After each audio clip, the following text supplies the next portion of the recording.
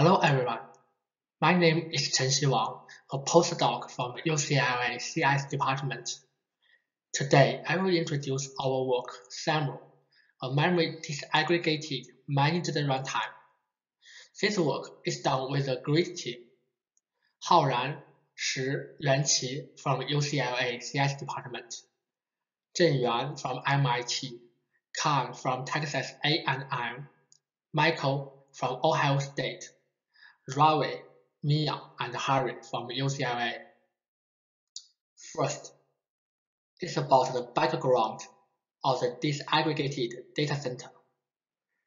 Recent industry trends suggest a paradigm shift towards disaggregated data centers.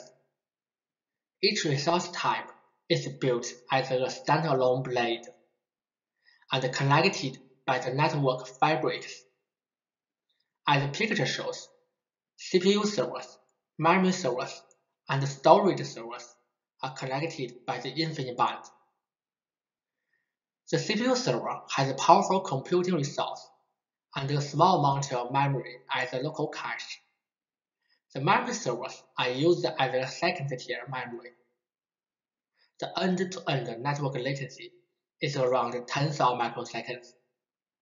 The network bandwidth can reach up to tens of gigabytes. Hardware resource disaggregation is good for resource utilization, hardware elasticity, and heterogeneity. Let me introduce the process execution model in this work. When an application is launched in the disaggregated cluster, the process can span multiple servers. In this work, we assume process span only one CPU server and multiple memory servers. We only launch the one process, but it's easy to extend to multiple processes on multiple CPU servers. The process runs on the CPU server. When the process memory footprint exceeds the capacity of local cache, its data will be swapped out to memory servers the local cache access latency is around 60 nanoseconds. The memory access latency to remote memory servers reaches up to 10 microseconds, which is 150 times slower than accessing CPU server's local cache. Most of the previous works focus on semantics agnostic optimizations such as reducing or hiding the remote access latency, or design a prefetch algorithm to reduce the remote access frequency. These works assume the applications having a reasonable data locality. However, this assumption is usually not true for cloud applications written in managed languages. The managed language applications run on a runtime. The runtime reserves a range of virtual space from the OS as a Java heap. The runtime uses a garbage collection GC to reclaim data space on the Java heap.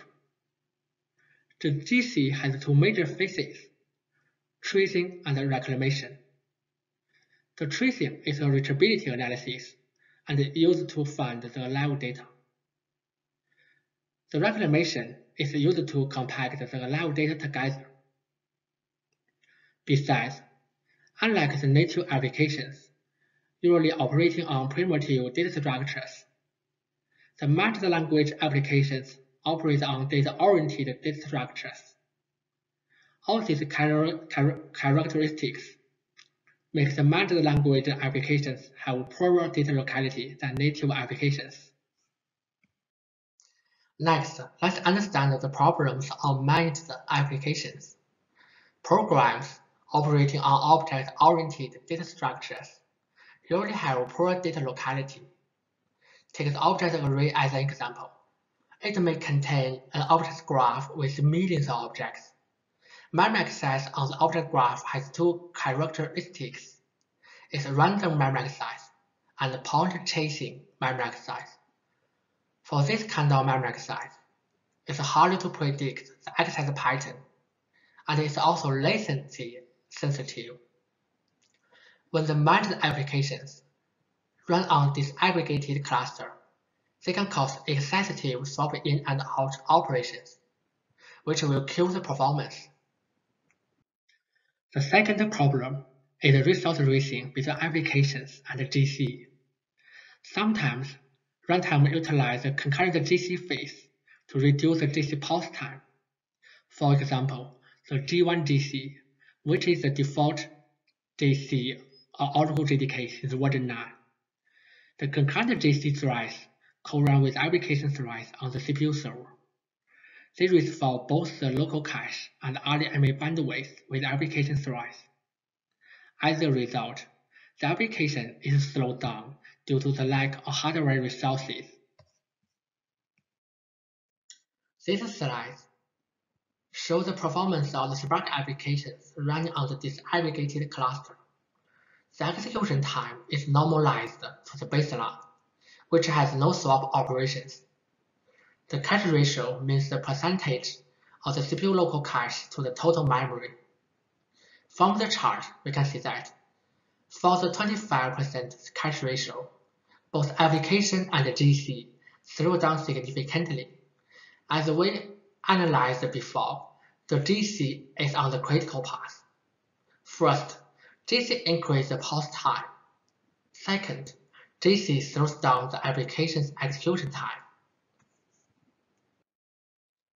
To solve the per-locality on managed applications, we have two major insights. The first insight is to offload part of the GC tasks to memory servers, where the data is located. The GC offloading has several benefits. First, GC is memory intensive. It's a good fit for the weak compute on the memory servers. Second, near-memory computing can provide very high throughput. And finally, GC can run concurrently and continuously on the memory servers. Our another insight is that we can utilize GC to adjust the data layout for the applications. Based on this insight, we propose the Semeru, a disaggregated managed runtime. We have three main challenges to design a disaggregated runtime. The first is what memory abstraction to provide. We propose the universal Java heap. A normal JVM runs on the CPU server. It can access the whole Java heap a lightweight JVM is launched on each memory server. They can only access the Java heap range assigned to them. The lightweight JVM is a trimmed JVM, designed for the memory server with weak compute resource. The objects are allocated on the CPU server, and they will keep the same virtual address when they are evicted to the memory servers. And then the lightweight JVM can trace the evicted objects without address translation. The CPU server memory works as a software management inclusive cache. The application allocates objects on the CPU server local cache. When the local cache is full, the code and the dirty pages will be evicted to memory servers. If the pages are freed by GC, SAM will unmap the virtual pages and reset them to init state. The clean pages will not be evicted to the memory servers. The second challenge is what tasks should be offloaded to the memory servers. We offload the tracing tasks to memory servers to handle the evicted data. The tracing tasks are memory intensive and they don't need much computing resource. The memory server tracing can also run concurrently with applications running on the CPU server. Besides, we keep a GC phase on the CPU server for data space reclamation and compaction. Because the CPU server needs to extensively coordinate with applications and the memory server tracing, we let it run in stop the world mode. The applications will be suspended during the CPU server GC phase. During the stop the world window, The data space on both CPU server and the memory servers will be compacted. After the CPU server GC, the applications on the CPU server and the GC tasks on the memory server will be resumed. And then we need to select the data to be traced by the memory servers. In summary, Java heap is divided into regions. Semeru does region-based GC in each server to avoid conflicts between CPU server and memory servers. A region being traced by the memory server cannot be written by the CPU server at the same time. We propose a mechanism to detect the CPU server eviction during the memory server tracing. Only when most of the pages of region are evicted to the memory server, the regions can be traced by that memory server. The memory server treats each region based on the region's age. Because, because according to the generation hypothesis, newly allocated objects are more likely to die. So trace the, trace the young regions can reclaim space more efficiently. For each region, the collector needs rules to start tracing. The rules of each region come from the stack variables and other regions. JVM maintains a write barrier to record all the cross-region reference on the stop on the CPU server. During the CPU server stop the world GC, uh, several scatter stack variables and the records of the cross-region reference to build the tracing rules for the regions to be traced by the memory servers, and then send the tracing rules to each memory server. As we have mentioned, a CPU server GC is necessary in the main collection phase. First, the CPU server is responsible for tracing the regions cached on the CPU server cache. Second, the CPU server GC utilizes the stop of the world window to reclaim the data space on both the CPU server and the memory servers. The CPU server GC is also responsible for adjusting the data layout for the live objects. The third challenge is how to design the swap system for disaggregated runtime. None of the current swap system is robust enough to support distributed workloads such as Spark. We developed a swap system based on the NVMe over Fabrics. Our swap system has two message paths, the data path and the control path. The control path is used by the applications to transfer small metadata. The data path is connected to the paging system for excessive swap operations. We add some function support to the swap system for Semeru. For example, we let the runtime get more information from the kernel. We also add some optimizations. For example, utilize the InfiniBand scattergather to speed up data transfer. This slide shows the experiment setup. We run Semeru on a four servers cluster, one CPU server and three memory servers. The CPU server has two CPUs with 16 cores. We use cgroup to limit the CPU server's memory usage. We use two cores on each memory server. The CPU server and the memory servers are connected by the InfiniBand. The bandwidth of the InfiniBand is 40 gigabits per second. This slide shows the overall performance.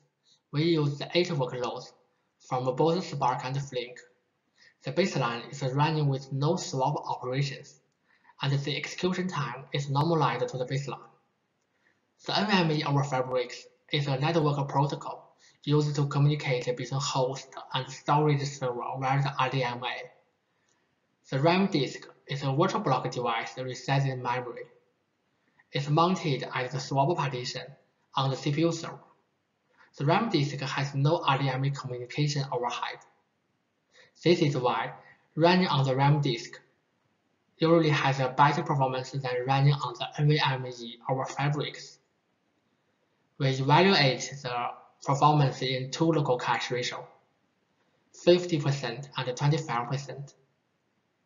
We can see that the average slowdown for Semeru is 8% or 32% for 50% local cache and 25% local cache, respectively, compared to both NVMe over Fabrics and RAM disk. Semeru improves the performance for both application and GC. This slide shows the memory server tracing performance. In this chart, we compared the tracing performance of single core between memory server and the CPU server. On the memory server, we adjust the CPU frequency from 2.6 GHz to 1.2 GHz. The CPU frequency of the CPU server stays 2.6 GHz. From the column of the throughput, we can see that the tracing throughput of the memory server is about 8.8 times higher than the CPU server. After we lower the CPU server frequency to 1.2 GHz, the memory server tracing throughput is still 3.4 times higher than the CPU server. The low throughput of the CPU server is caused by the excessive swap operations. We can see that the CPU utilization of memory server is quite low. For a single core, 1.2 GHz, its average CPU utilization is around 20, 29%. The memory server can finish the tracing quickly. So we can get the conclusion. The weak compute on the memory server is already powerful enough to do contiguous and concurrent tracing. So at the, at the end, we can get the conclusions. Semeru achieves superior efficiency on the disaggregated cluster, where two things. First, a co-design of the runtime and the swap system. Second, a careful coordination of different GC tasks. For example, the tracing on the memory server and the compaction on the CPU server. We can also see that the disaggregation performance could benefit much more from a redesigned runtime than semantics agnostic optimizations. Thank you for joining me today. If you have any question, please feel free to ask me, or you can send me email later. Thanks.